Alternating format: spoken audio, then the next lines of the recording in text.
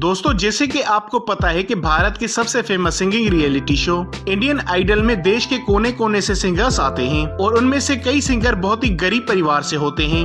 जो मेहनत मजदूरी करके अपने घर का खर्चा पूरा करते हैं।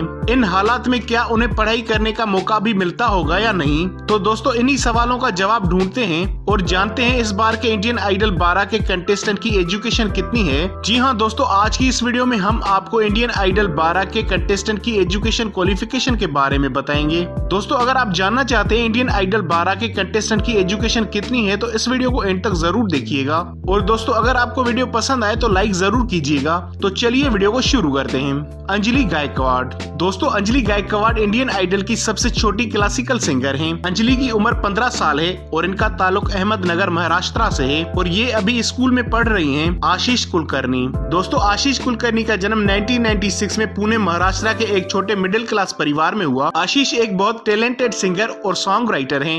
बात करें आशीष की एजुकेशन क्वालिफिकेशन की तो इन्होंने बेरेन, महाराष्ट्र कॉलेज कॉमर्स से एम किया हुआ है। सवाई भट्ट। दोस्तों, सवाई भट्ट का जन्म 1998 को नगरपुर, राजस्थान के छोटे से गाँव गाचीपुरा के एक गरीब परिवार में हुआ। सवाई और उनके पिता कठपुतली का शो करके अपने घर वालों का पेट पालते हैं। सवाई भट्ट ने बचपन से ही बहुत मुश्किल वक्त देखा है और छोटी सी उम्र से ही अपने पिता के साथ कठपुतली का शो करने के कारण उन्होंने पढ़ाई नहीं की। नचिकेत लेले। दोस्तों, नचिकेत लेले का जन्म 28 नवंबर 1996 को कल्याण, मुंबई में हुआ। नचिकेत लेले ने बी बीएससी इन एरोनेटिक किया हुआ है मुंबई, महाराष्ट्र से और ये एक अच्छे सिंगर होने के साथ साथ अपना इंटरेस्ट एयरक्राफ्ट बिल्डिंग में भी रखते हैं। शान मुखा प्रिया। दोस्तों, सत्रह साल की छोटी सी लड़की ने अपनी सिंगिंग से पूरे देश का दिल जीत लिया है। शान मुखा प्रिया का जन्म 2003 में आंध्र प्रदेश के मिडिल क्लास परिवार में हुआ। बात करें शान मुखा के एजुकेशन की तो इन्होंने अभी हाल ही में श्री चैतन्य टेक्नो स्कूल से सेकेंडरी लेवल के एग्ज़ाम पास किए हैं। अरुणीता कांजीलाल। दोस्तों, अरुणीता कांजीलाल इंडियन आइडल बारह की सबसे ज़्यादा फेवरेट कंटेस्टेंट में से एक बन चुकी है। इनकी सुरीली आवाज़ ने सभी को अपना दीवाना बना लिया है। अरुणीता का जन्म 2003 में कोलकाता वेस्ट बंगाल में हुआ। अरुणिता ने अभी टेंथ क्लास पास की हुई है और आगे भी ये अपनी पढ़ाई कंटिन्यू करेंगी। सियाली कामले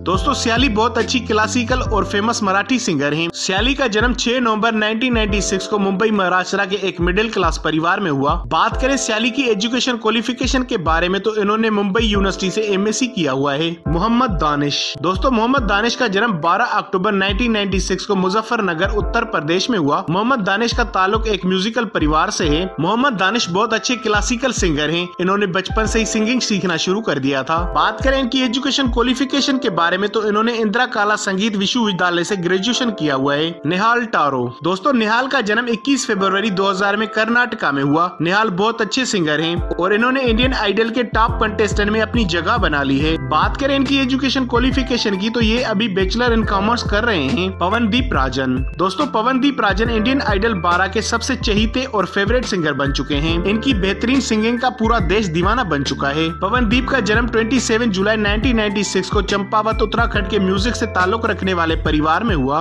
बात करें इनकी एजुकेशन क्वालिफिकेशन की तो इन्होंने कमोन यूनिवर्सिटी नैनीताल से ग्रेजुएशन किया हुआ है। तो दोस्तों, ये थे इंडियन आइडल बारह के कंटेस्टेंट की एजुकेशन क्वालिफिकेशन दोस्तों, आपका क्या कहना है इंडियन आइडल बारह के टॉप टेन कंटेस्टेंट की एजुकेशन क्वालिफिकेशन के बारे में? हमें कमेंट करके ज़रूर बताइएगा। दोस्तों, अगर आपको ये वीडियो अच्छी लगी हो तो इस वीडियो को कर दे लाइक और इसी तरह की वीडियो देखने के लिए हमारे चैनल को कर दें सब्सक्राइब और बेल आइकन को प्रेस कर दें ताकि आपको हमारी आने वाली वीडियोस की नोटिफिकेशन मिले सबसे पहले और आप हमें कमेंट करके ज़रूर बताएँ कि आप नेक्स्ट वीडियो कौन सी टॉपिक पे चाहते हैं।